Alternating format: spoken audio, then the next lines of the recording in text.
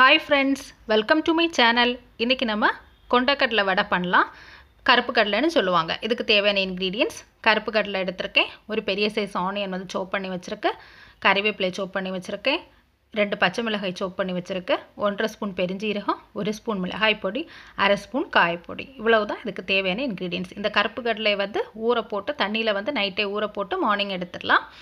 இப்போ வந்து இது ஊற போட்டு எடுத்த கடலை. இதை வந்து தண்ணியை வந்து மாற்றி இப்போ வந்து நம்ம கிரைண்ட் பண்ணி எடுத்துருவோம் மிக்சியில் போட்டு.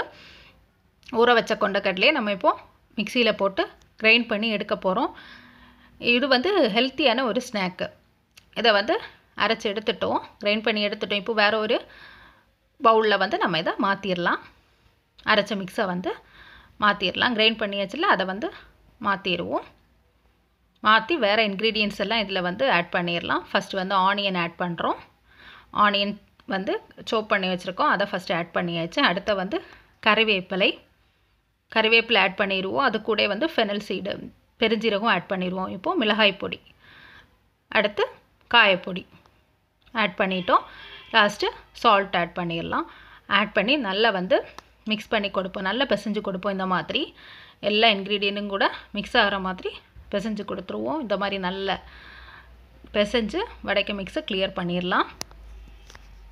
வடை மிக்ஸ் வந்து இப்போ வந்து கிளியர் ஆகிடுச்சு நல்லா வந்து பிசைஞ்சு இந்த மாதிரி வச்சுருவோம். அப்போ தான் நல்ல டேஸ்ட்டும் கிடைக்கும். ரெடி ஆகிடுச்சு மிக்ஸு ஒரு கடாய் எடுத்துடலாம். அது ஹீட் ஆனதும் நம்ம ஆயில் விட்டுடலாம். ஆயில் கொஞ்சம் சூடாகட்டும்.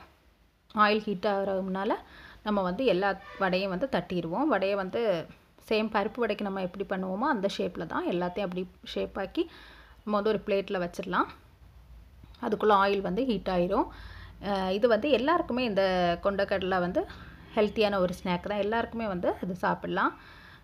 டீ கூட வந்து ஒரு சூப்பரான ஸ்நாக்கு என்றைக்கும் பருப்பு வடை உளுந்து வடை அந்த மாதிரி பண்ணுறது இது கொஞ்சம் வெரைட்டியாகவும் இருக்கும். நமக்கு டேஸ்ட்டாகவும் இருக்கும்.